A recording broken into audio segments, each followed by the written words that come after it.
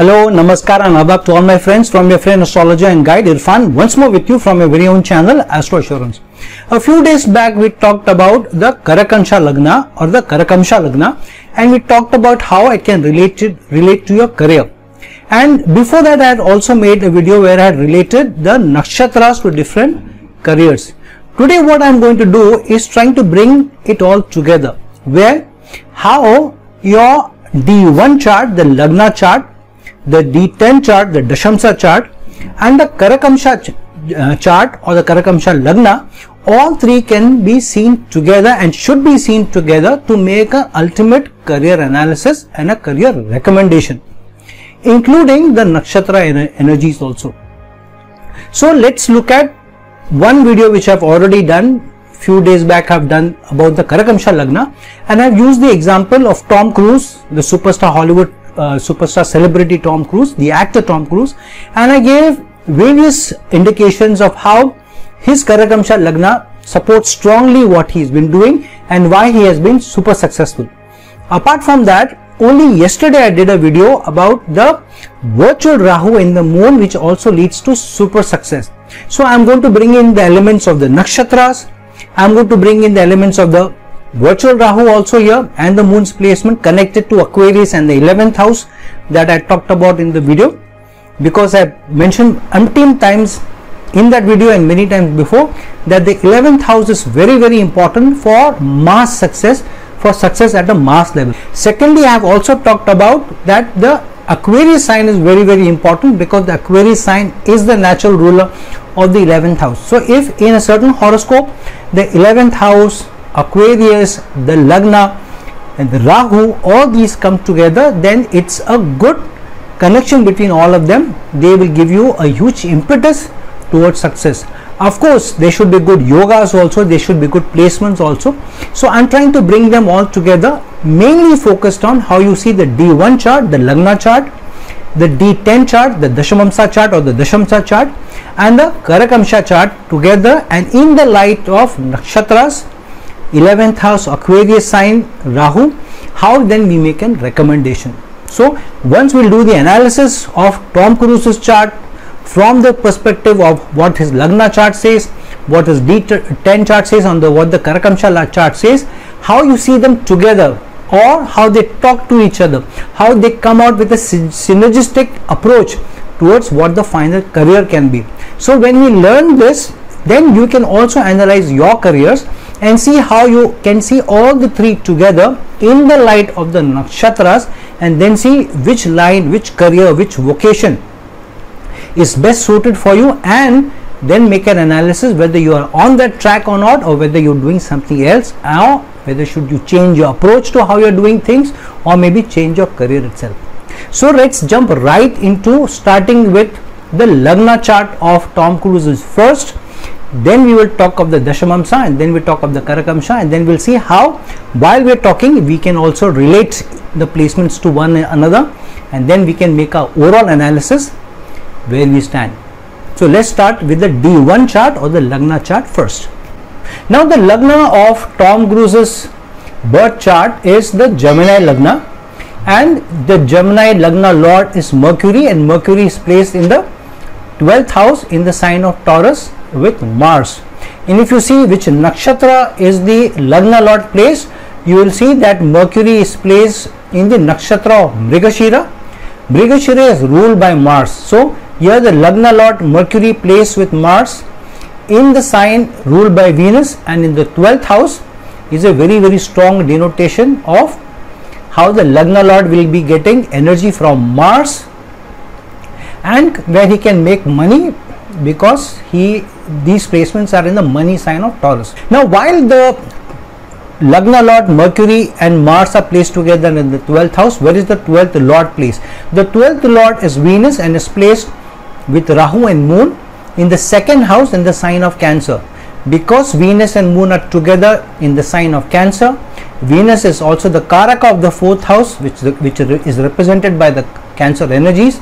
So Venus is very very strong in the Cancer sign and because of being placed with Rahu your creativity high creativity unusual creativity breakthrough creativity is very very important because Venus and Moon and Rahu are coming together.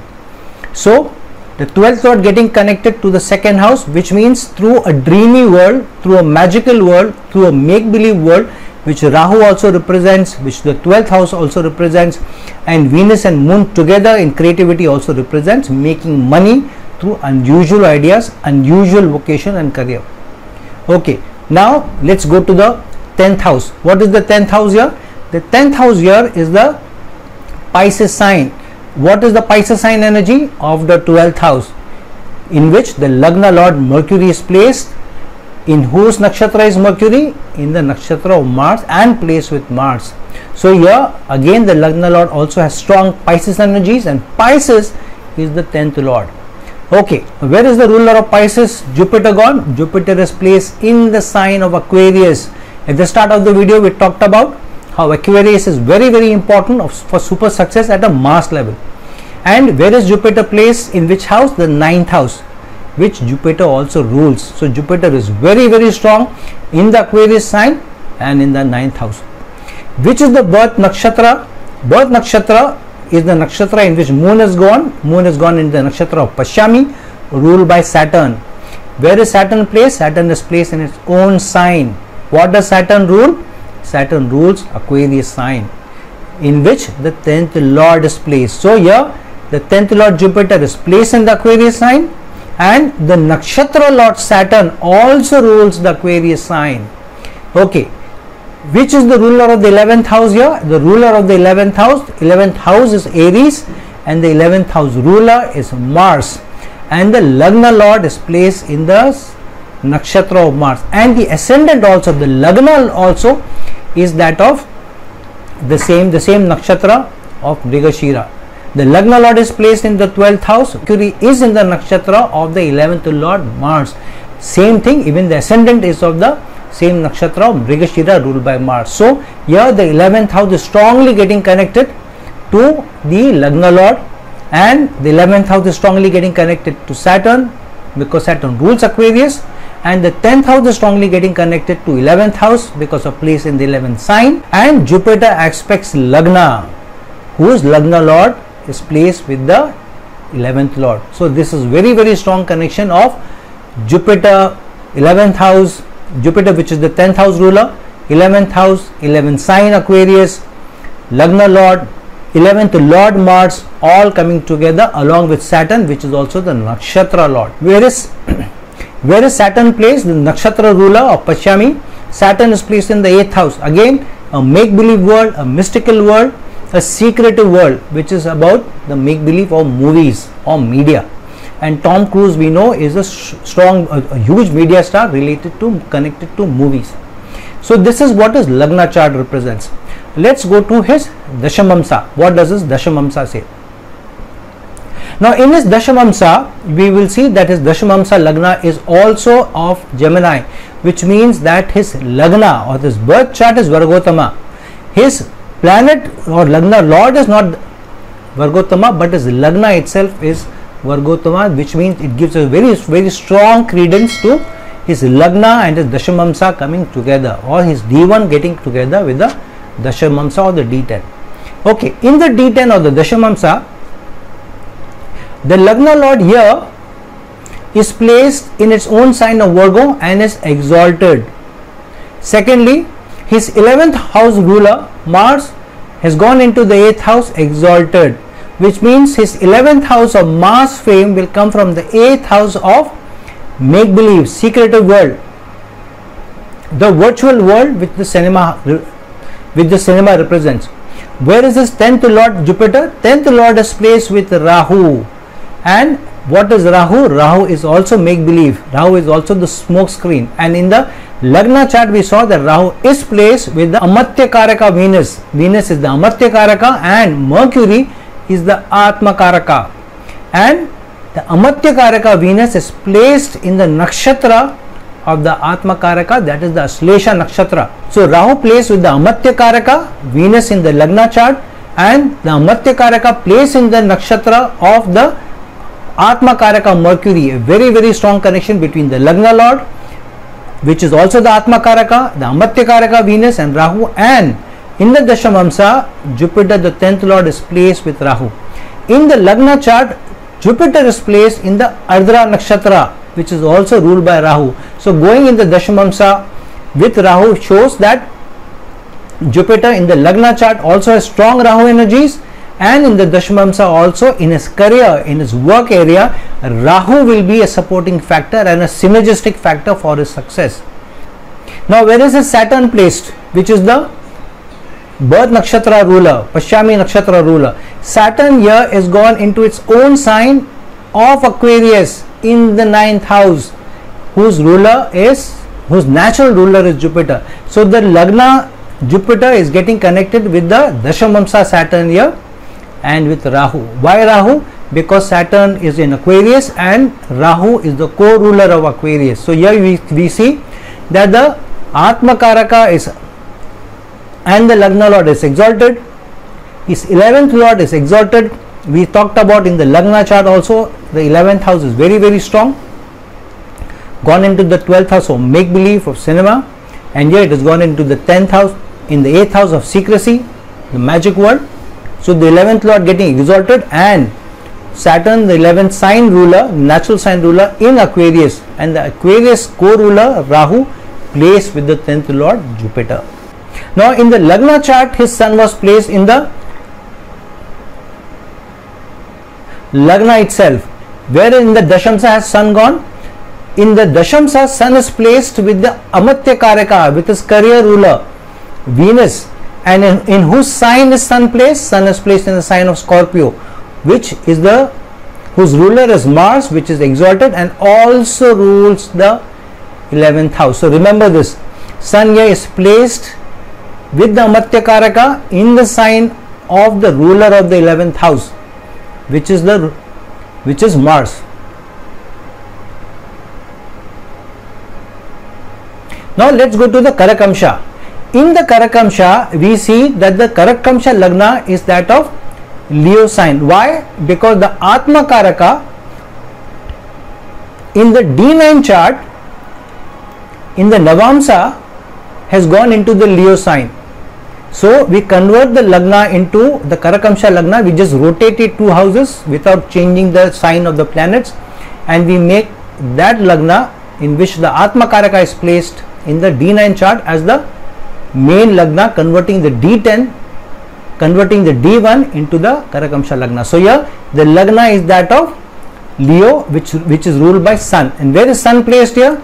Sun here is placed in the 11th house and we know that in the Dashamsa Sun was placed in the sign of the planet which rules the 11th house which is also the ruler of the 11th house in the Lagna chart also which is Mars. So in the Karakamsha sun is the Lagna Lord and has gone into the 11th house. Where is the 11th house ruler? 11th house ruler Mercury is gone into the 10th house and again placed with Mars which is the 9th house ruler and Mars also aspects the Lagna. Where is Jupiter gone now? Jupiter which rules the eighth house of again secrets, mat, magic, make believe has gone into the Aquarius sign. So you can see the continuous connection of Jupiter with Aquarius and with the 11th house here. Why the 11th house? Because Jupiter aspects the 11th house and aspects Sun, the Lagna Lord of the Karakamsha Lagna in the 11th house. And Rahu, Venus and Moon.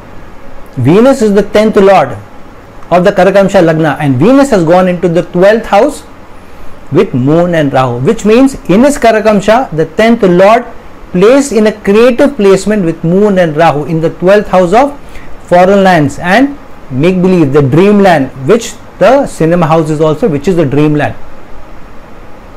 So here the 8th house ruler Jupiter is placed in the sign of Aquarius.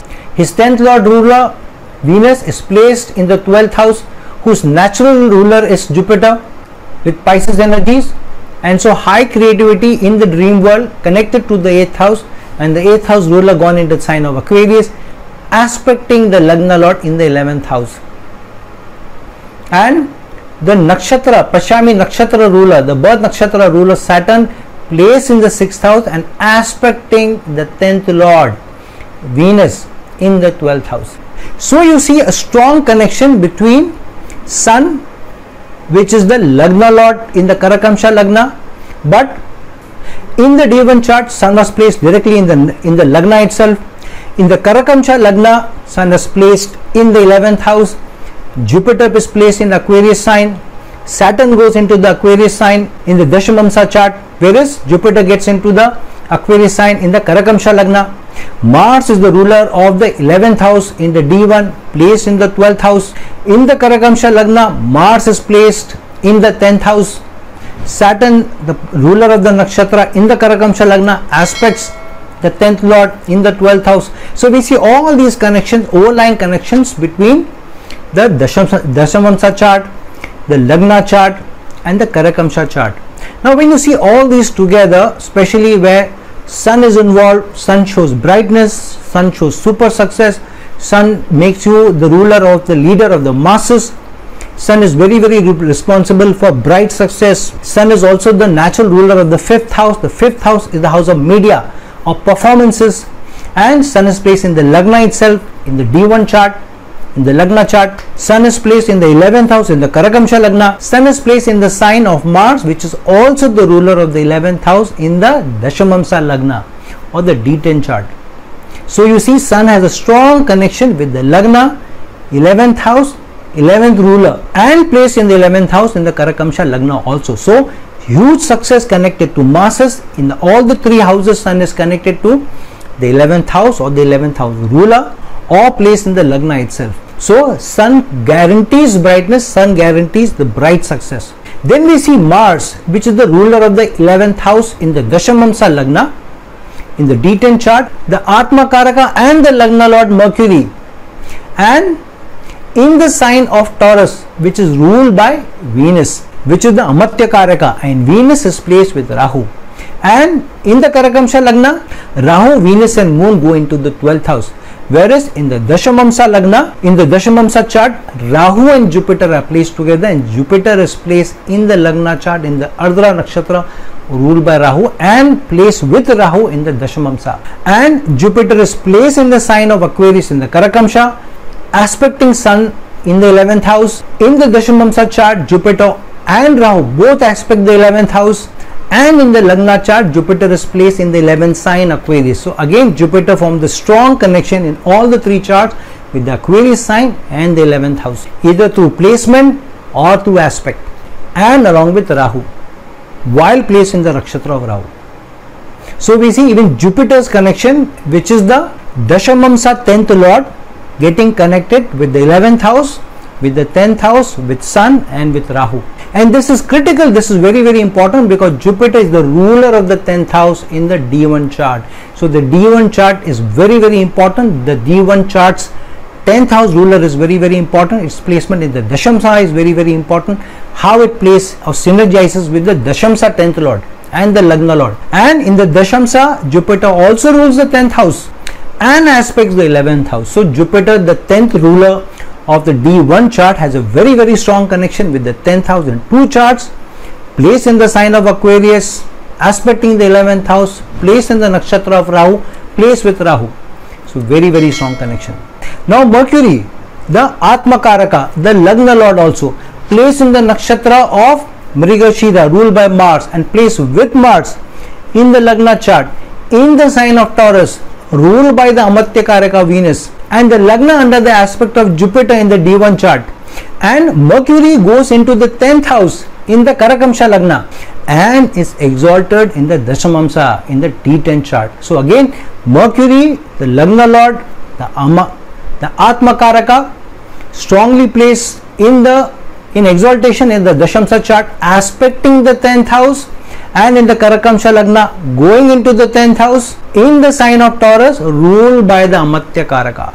So again the Lagna Lord also making a strong connection with the Amatya Karaka, the 10th house in exaltation and with Jupiter which is the 10th lord of the D1 chart and Saturn in the D1 chart goes into the 8th house of magic mystical world in the Karakamsha Lagna aspecting the 12th house where Venus, Rahu and Moon are placed and Venus is the 10th lord in the Karakamsha Lagna and in the Dashamamsa going into the Aquarius sign in the ninth house and in the mutual aspect with Jupiter and the Dashamamsa. So again, very very strong connection of the Nakshatra Lord, the Pashami Nakshatra Lord, the birth Nakshatra Lord Saturn with Jupiter in the Dashamamsa in aspect with Jupiter, place in the Aquarius sign and in the ninth house whose natural ruler is Jupiter and aspects the Amatya Karaka in the 12th house in the Karakamsha Lagna in which the Amatya Karaka Venus is also the 10th lord. So we see strong connection of the Lagna lord and the Atma Karaka Mercury of Venus which is the Karaka of Mars which is the 11th lord in the Lagna chart as well as in the Dashamamsa chart and place in the 10th house in the Karakamsha Lagna. And where is Mars placed in which nakshatra is Mars placed Mars is placed in the nakshatra of Kritika ruled by Sun. And Sun is placed in the Lagna itself in the D1 chart. So Mars is getting connected with the 12th house with Mercury which is the Atma Karaka and the Lagna Lord. And Mars is placed in the nakshatra of Sun which is placed in the Lagna itself. And Sun Sun is the Lagna Lord of the Karakamsha Lagna and gone into the 11th house and Sun represents the 5th house of public performance, of acting, of media, showcasing natural ability and the arts. So overall you see there are strong connections between the D1 the D10 and the Karakamsha Lagna, between the Atma Karaka, between the Amatya Karaka, between the 10th Lord, Lula Jupiter, between Aquarius, the 11th, 11th house, between Saturn, the Nakshatra Lord of the birth Nakshatra, with of course Venus, the Amatya Karaka. So all of them in every chart are talking to each other. So when you look at all the, these three, and if Tom Cruise was a 19 year old or 18 year old and came to you, what you would you recommend basis these connections? So firstly you look at Sun in the Lagna itself in the D1 chart and you will see Jupiter which is the 10th Lord ruler and gone in the 9th house. So Sun which is the ruler of the 5th house energies of performances of media. Then you see Rahu, Moon and Venus together. And you see the Dashamamsa Lagna is Vargotama between the D1 and D10 and you see the strong connection between the Atma Karaka and the Amatya Karaka. And the Amatya Karaka Venus being the 10th ruler in the Karakamsha. So you would and with Rahu, Rahu is where the 10th ruler of the D1 is placed in the nakshatra of Rahu. And in the Dashamamsa is placed with Rahu. So you would tell this person, especially because the 12th house energies, 8th house energies, make believe, Rahu, Venus, Rahu, and Moon together in creativity with Sun, media. So you would tell this person, or at least I would tell this person, that you have three or four career options. One, you can do very, very, very, very well in a performance where you are in front of the masses, in a presentation role, in a media role. I am doing something which is very courageous because of Mars being involved here. And when you are communicating and talking or directly involving with the audience or presenting to an audience in a very, very creative manner, in a very make believe manner, in a magical manner, and a courageous manner.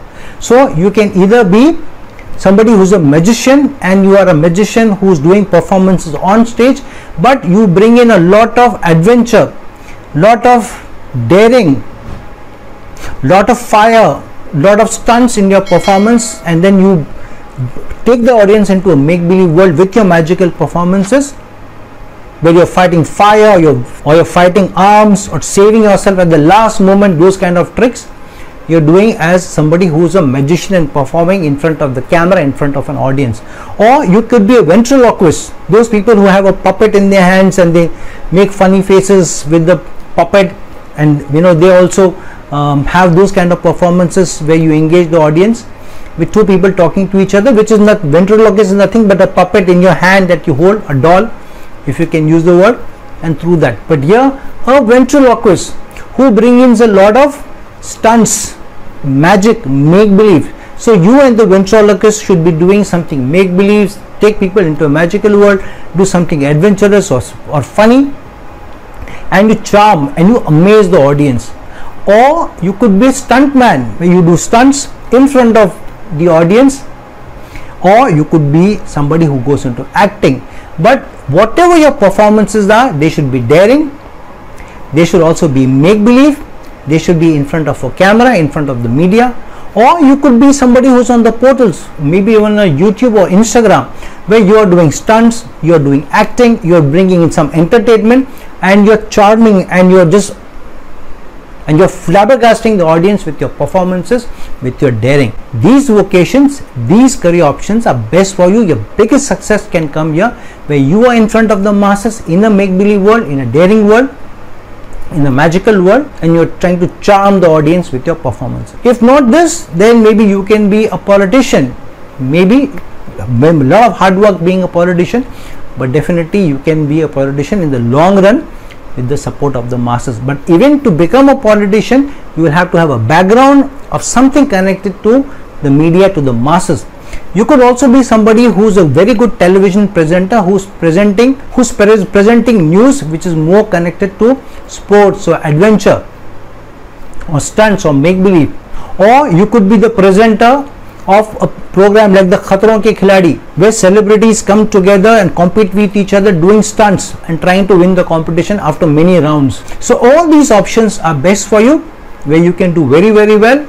You can uh, charm the audiences with your presentation, with your magical make-believe world, with your communication skills with your creativity and you can get good stable performances of over a long period of time you will have good periods and bad periods in between also. However you will have excellent results and you will leave a strong legacy of success when you leave the world.